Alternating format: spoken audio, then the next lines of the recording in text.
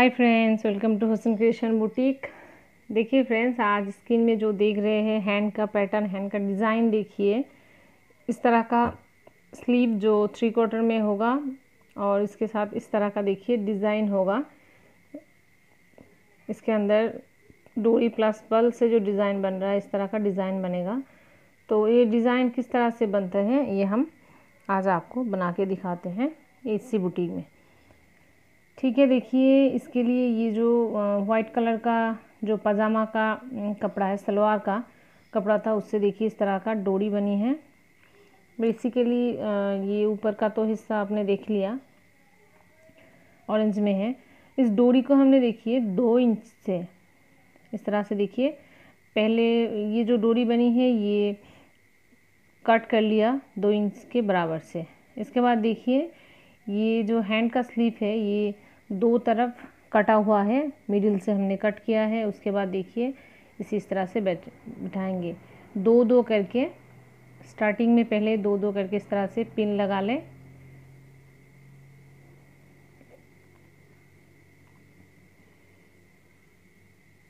इसके बाद देखिए, एक इंच के गैप छोड़ देंगे। एक इंच के एक या सवा इंच के गैप छोड़ छोड़ के देखिए इस तरह से मार्क लगाएँगे।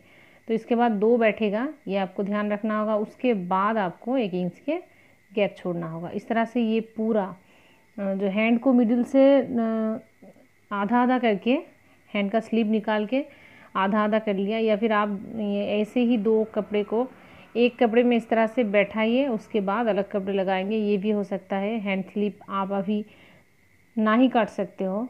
स्लीव नहीं काट के ऐसे ही बॉर्डर में बैठाने के बाद स्लीव भी स्लीव की फिनिशिंग दी जाएगी। जब ये सिलाई हम करेंगे, आपको ध्यान ध्यान रखना होगा, ये सिंगल जा रही है, उसके बाद जब हम पॉइंट पे आएँगे, ये देखिए यहाँ पर दो बार, पीछे करके दो बार हम इस तरह से लगा लेंगे। देखिए, एक इंच के गैप छोड़ के ये हमने एक साइड में इस तरह से देखिए पूरा लगा दिया, ठीक है? अभी दूसरा साइड का जो कपड़ा हमने लिया है, इसको देखिए मिडिल में भी एक इंच के गैप छोड़ेंगे, उसके बाद इसे स्टिच करेंगे। मिडिल में इस तरह से देखिए, बराबर से बैठ, बैठाएँगे इसे पिन से पिन अप करने के बाद इसे सिलना होगा।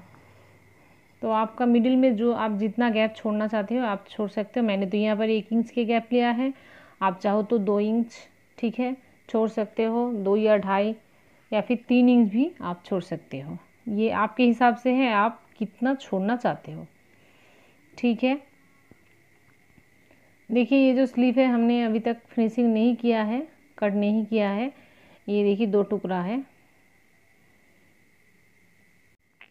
अभी देखिए इस तरह से जैसे मैंने कहा, बैठा के अभी इसे सिल लेंगे।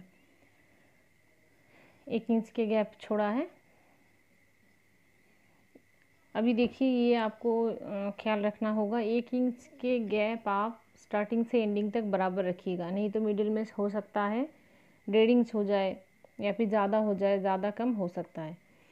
तो ठीक है, इस तरह से देखिए, इसे धीरे से सावधानी से करना होगा क्योंकि आपका ये जो